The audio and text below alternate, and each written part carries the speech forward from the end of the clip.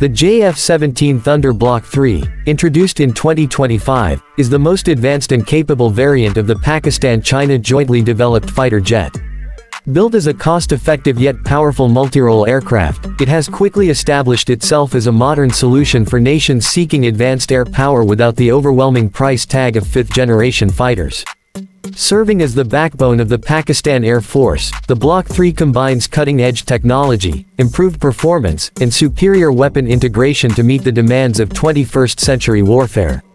At the heart of the JF-17 Block 3 is its Advanced Active Electronically Scanned Array AESA radar, providing unmatched target detection, tracking, and engagement capabilities.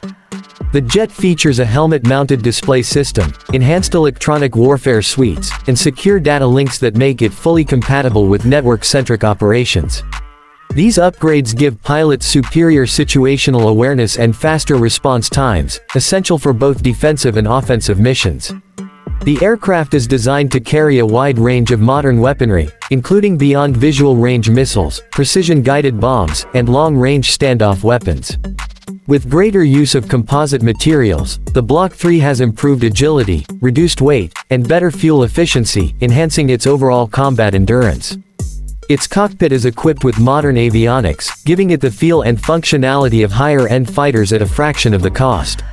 What makes the JF-17 Block 3 stand out in 2025 is its balance between affordability and advanced performance.